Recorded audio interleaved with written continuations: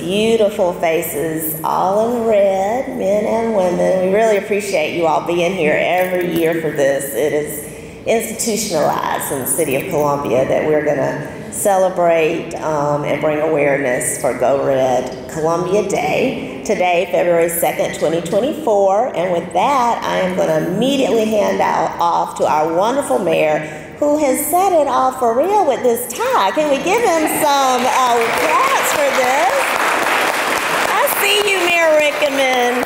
So greetings and special presentation, Mayor Daniel Rickenmann.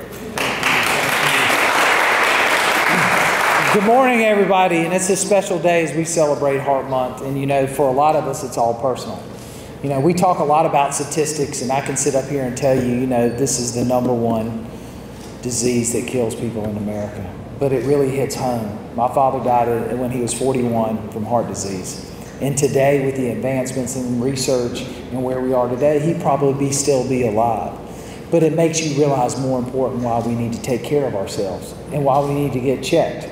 We had a good friend of ours who is a young father, two young kids, felt didn't feel good. Kept pushing off going to the doctor, kept pushing off going to the doctor till his wife said, You gotta go. He went to the doctor, they found 90% blockage. 35 years old now. 35 years old, works out every day in great shape. So it doesn't matter if you work out every day, if you think you gotta go get checked. It's more important than ever for us. And that's why red dress is important, right? It's important that we keep talking about it. And we talk about it a lot in the month of February, but the reality is we need to be talking about it every day. And as, as we embark as a city to improve quality of life of our citizens, make sure we have more exercising opportunities. We got some great announcements coming out this spring about some outdoor exercise opportunities but we also got to make sure that we're reminding people go get checked out. Go get your regular appointment. Make sure that if your if your family's prone to heart disease that you're getting checked regularly because it is the number one killer of people in our country. And so when I look at the data and you look at the money, $400 billion spent on heart disease annually in, in the U.S. That includes healthcare costs, services, medicine, lost productivity. That's a significant amount. But you can't put a, a dollar amount on somebody's life. Cardiovascular disease is the number one killer of women in the U.S. Number one. You know, we talk a lot about uh, breast cancer, which we need to continue to talk about, but we can't forget heart disease. When you get your mammogram, go get your EKG. Go to the, heart, the cardiologist and get checked one in three deaths a year, killing more women than any form of cancer combined. Cardiovascular disease is the leading cause of maternal death in the U.S. Heart disease is the number one killer of new moms and women who are also likely, more than men, to have uh, systematic car- coronary heart disease. And doctors are less likely to refer women for testing, which is a statistic that shouldn't be true. So, as we continue to bring out the messages, we are working with our healthcare systems to make sure that this is becoming a checklist that everybody does every year. It's not just your mammogram, you got to go get your heart checked. That's why we're embarking on the blue zones. And as we move into our areas and across the city over the next three to couple months or so, over the next three weeks, I hope, we're going to be talking more about the blue zone, which is getting an assessment and how we turn our community into a healthy community because I want to see all you together, all of you together when we're 100 years old sitting around laughing about the good old days, all right? Um, we don't need to continue to, to go backwards, we need to go forwards. So, with that, on behalf of my city council members, which we do have uh, our newly elected uh, at large, Tyler Bailey's here.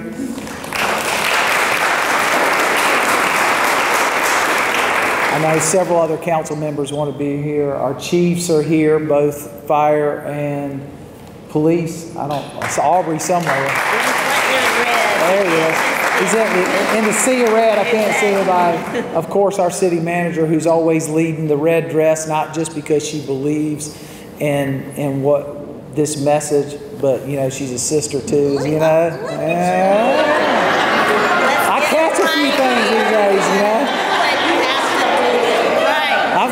a few things at our time.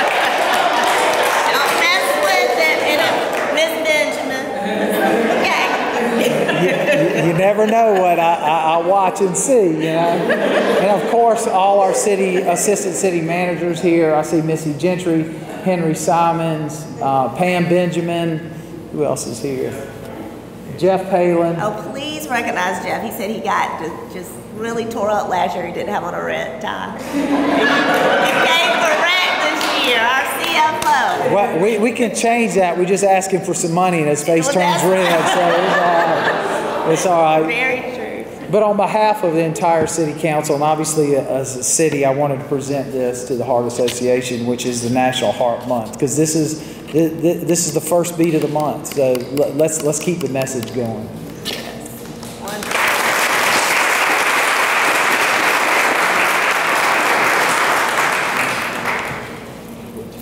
Mayor Rickenmann covered it all. I mean, all of the points, because I think when something's so personal to us, it's easy to demonstrate the passion for it. I think last year I shared with you all my own uh, journey with heart disease in my family, and I consider myself a survivor, and as you know, yeah. So you know, he couldn't have hit the nail on the head better about with all the medical advances we have now.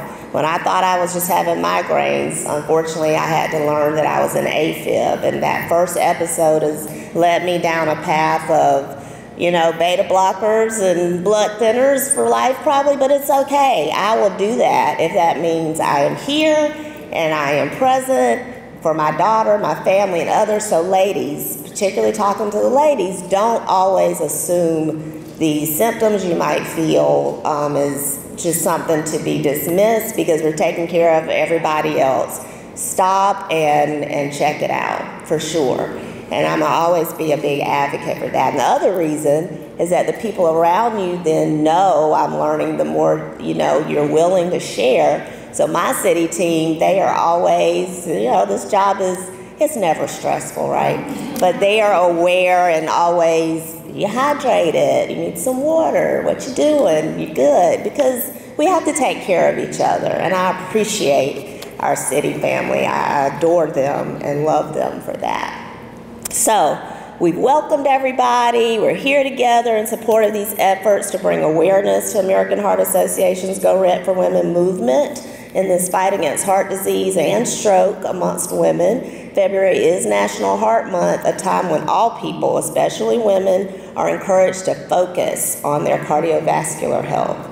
This month, the Division for Heart Disease and Stroke Prevention is encouraging women to listen to their hearts and speak up for their health. Women in the United States are experiencing unacceptable and avoidable heart related illness and death, and nearly half of U.S. women do not recognize that heart disease is the leading cause of death for women.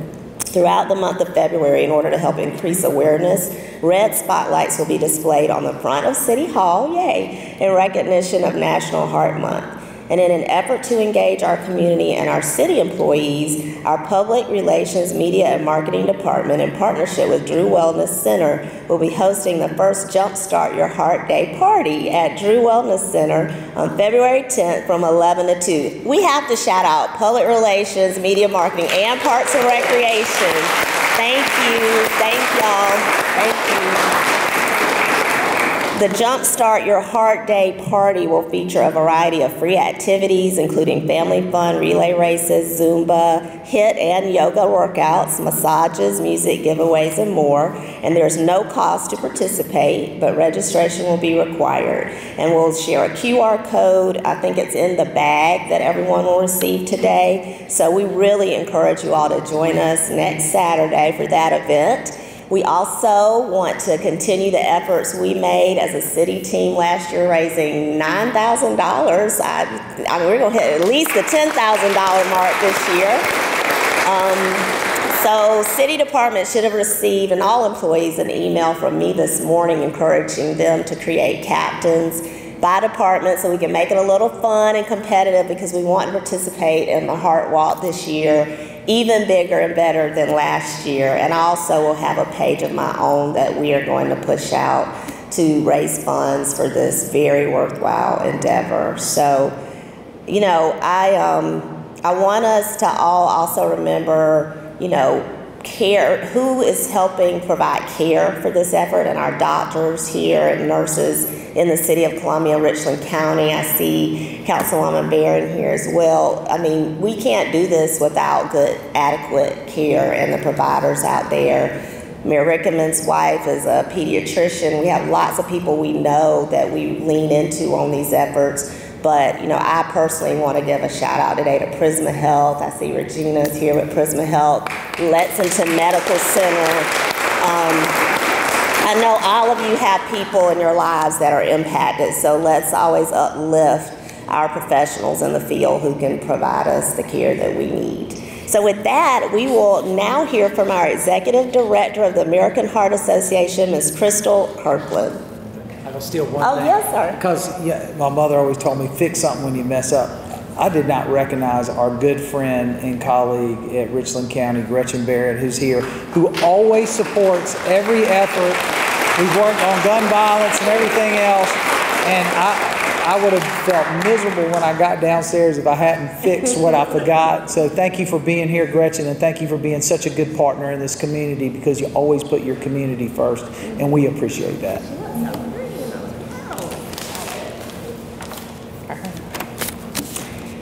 It is so lovely to see everyone in red, of course, the American Heart Association's favorite color. Hello, I am Crystal Kirkland, the Executive Director for the American Heart Association here in the Midlands. It is my honor to introduce Angelica Davis. Angelica is one of the American Heart Association's Women of Impact nominees for 2024. In November of 2022, Angelica gave birth to her third son, and soon after, her entire life changed. We're so grateful to have her here to tell us her remarkable story, and we appreciate your passion for helping us bring awareness to challenges around maternal health. Cardiovascular disease is the number one killer of new moms. And two thirds of those deaths could be prevented with proper access to care and equitable health. Angelica, your story is amazing, and especially today, we celebrate you. Please help me welcome Angelica Davis.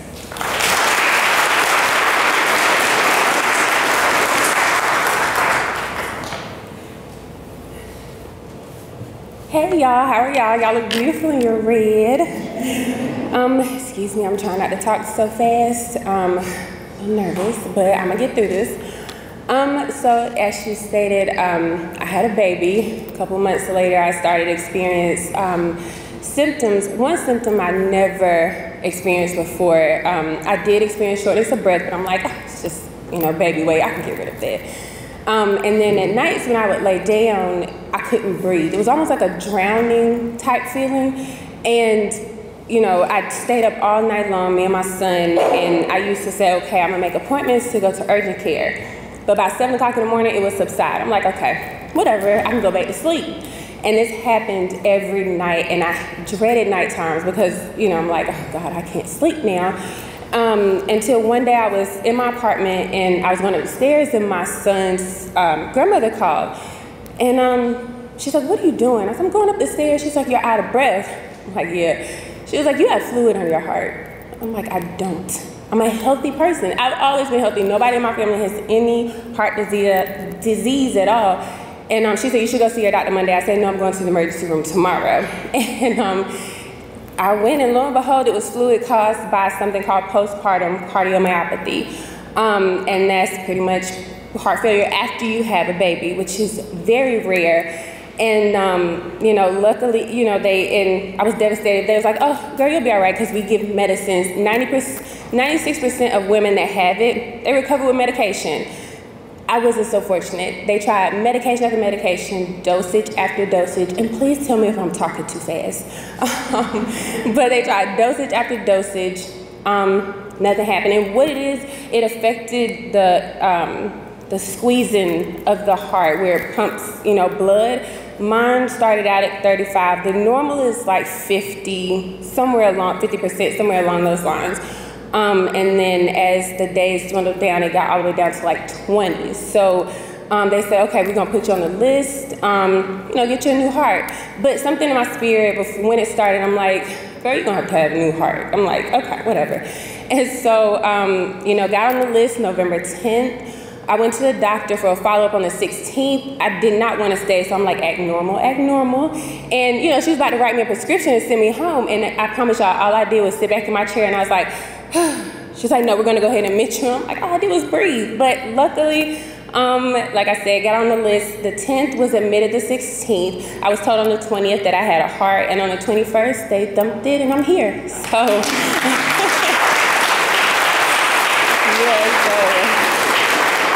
um, to say the least, it, and I hate, I don't know, when I tell people, it was actually a good journey. Like, um, I have no complaints, smooth recovery. Um, I just, I just got a touch of um, steroid-induced diabetes and a touch of asthma, but hey, what is that? So, um, you know, but it went really great. My parents are supportive, but, and you know, today should be a day that I should be celebrating. We all should be celebrating, and I'm happy to be the Women of Impact nominee. And I did a dinner with the other um, nominees a couple nights ago, and they asked me what my why was. Today, my why has completely changed. It was educating women and making sure this does not happen. I found out today um, a member of my own community passed almost a, a year ago to the exact same thing that I had. And unfortunately for her, the person that I spoke to today, she said it was just too late. And I'm like, excuse me, how, how was it too late? Nobody gave them information. So now it's personal. This is no longer, it's a why to educate women, but it's a why so we can stop this. Because it makes no sense for a child to have to grow up without a mom because it was caught too late. If we, we need to be educated, we need to be informed. Hey, doctor, I'm pregnant. Congratulations. Postpartum, you know, depression, all that stuff. But let me tell you about a rare thing called um, postpartum cardiomyopathy 4%, it happens to 4% of pregnancies. These are the symptoms. You're gonna have a healthy pregnancy. But I'm just letting, as a doctor, I'm just letting you know, just so you know, you're aware of the symptoms. I wasn't aware of the symptoms. Sadly to say, she wasn't either. So, how do we fix this? I'm going to bring awareness. It's not gonna happen again. Our doctors are going to let us know. And if they don't let you know, I'm here. I'm gonna let you know. Because I don't want this to happen. Kids shouldn't have to live without their moms. So, that's my why. Um, thank y'all for listening, and um, yeah, that's it. Thank y'all for coming out. Angelica, you got this. You got it. Yes, we hear you and we see you. So great points, and so glad to see you so healthy and pretty and vibrant. We are at a period for closing remarks. Councilman Bailey, do you have anything you want to share? Okay, just wanted to ask. Um, also, Galena Alford, who is our payment center administrator, and I always tell her she's like my mom always says, a little bit of leather well put together. She's so tiny, but she is mighty, and she's always a big part of our efforts with American Heart Association at the city, um, and and making sure that some of the things we do contribute towards the Heart Walk. And so this year we're also doing a T-shirt campaign. Is that right? You want to come real quick and rally the troops on that?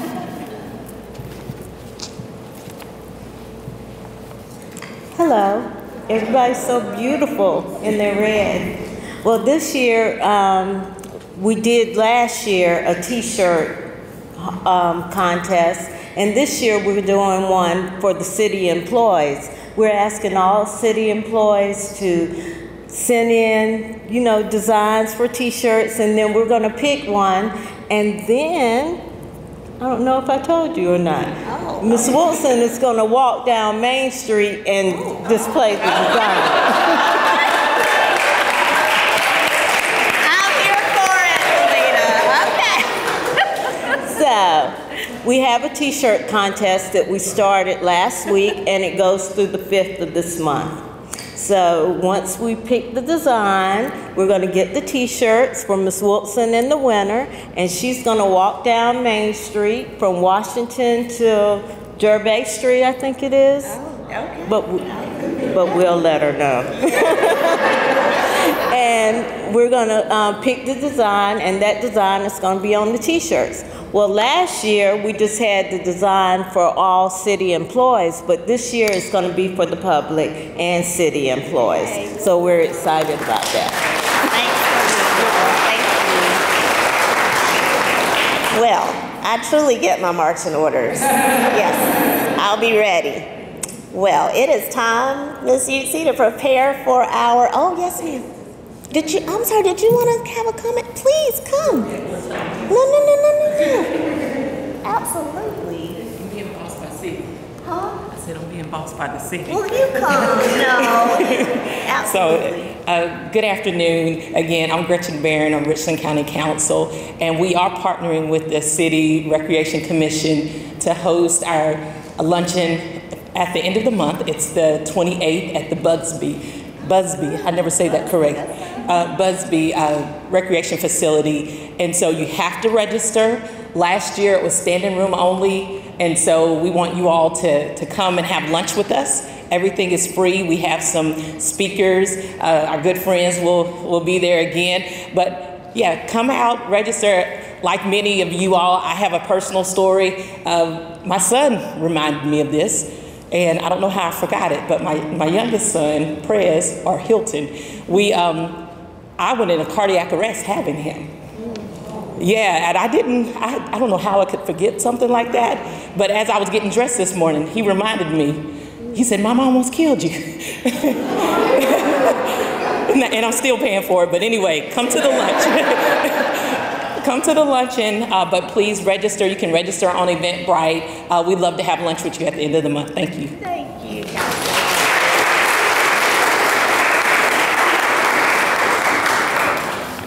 Okay, well, we have lots of great events coming up, clearly. We are putting the attention where it deserves to be. And with that, we are ready for our community photo session because y'all look fabulous. So let's get it done.